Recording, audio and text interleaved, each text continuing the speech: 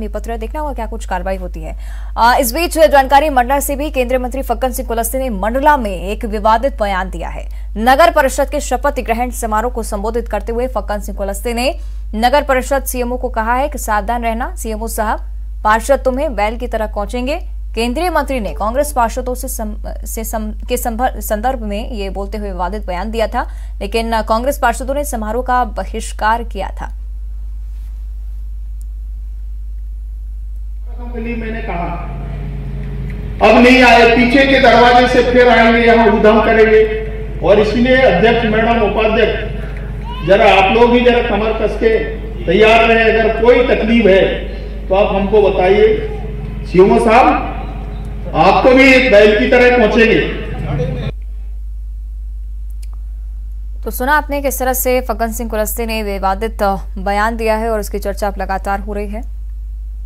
सहयोगी कृष्णा साहू ज़्यादा चर्चा के लिए मंडला से हमारे साथ लाइव जुड़ रहे हैं। कृष्णा निश्चित तौर पर बयान जो है उसकी चर्चा हो रही है लेकिन क्या पर्या क्या आ, कहना चाहते थे फक्कन सिंह कुलस्ते इस बारे में क्या जानकारी? हमारे लिए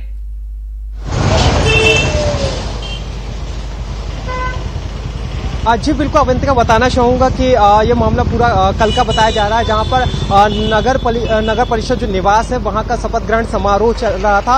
अध्यक्ष उपाध्यक्ष के साथ ही पार्षदों को शपथ दिलाई जाने दिलाई जाने वाली थी, जहाँ पर जो नगर परिषद निवास की जो सदस्य संख्या है पंद्रह है, जहाँ पर बीजेपी के पास दस है, वही कांग्रेस के पास पाँच है, जहाँ पर सभी को शपथ दिलाई जानी थी, लेकिन यहाँ पर कांग्रेस के जो विधायक हैं, उनकी फ़ोटो नहीं लगने के कारण जो कांग्रेस पार्षद प्रत्याशी हैं, उन्होंने शपथ ग्रहण का बहिष्कार कर दिया था, जिसके बाद मंत्री फग्गन सिंह कुलस्ते वहाँ पर पहुँचे और उन्होंने पूछा कि यहाँ पर लोग कितने हैं जिसके बाद उन्होंने बोला कि दस लोग आए हैं, बाकी पाँच लोगों ने पाँच लोग नहीं पहुँचे हैं। उन्होंने कारण पूछा तो उन्होंने बताया कि यहाँ पर विधायक की फ़ोटो नहीं लगी थी, जिसके कारण से लोग कांग्रेस जो पार्षद प्रत्याशी हैं वो नहीं आए इसके बाद मंत्री जी गुस्सा गए और उन्होंने वहाँ पर कहा कि यह कोई राजनीतिक कार्यक्रम नहीं है, ना ही कोई बीजेपी का कार्यक्रम था। यहाँ पर सभी लोगों को आना चाहिए था। और उन्होंने कहा कि अभी तो नहीं आए हैं। लोग बता रहे हैं कि अभी नहीं अभी नहीं आए हैं, लेकिन यही पार्षद पीछे के दरवाजे से अपना काम करवाएँगे, अध्यक्ष, उपाध्यक्ष को घेरेंगे। इसके साथ ही जो नगर पालिका जो सीएमओ होंगे, उनको भी घेरेंगे और अपना काम कराएँगे।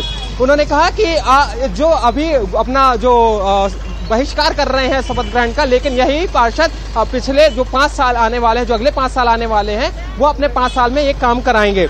उन्होंने फिर इस बीच में उनकी जो जवान है, वो फिसल गई और उन्होंने कहा कि जो सीएमओ साहब बैल की तरह आपको ये पार्षद अगले पाँच साल पीछे के दरवाजे से पहुँचने वाले हैं। अवंतिका। निश्चित तौर पर शुक्रिया आपका कृष्णा इस जानकारी के लिए। यानी कि कुल मिलाकर कांग्रेस पार्षदों की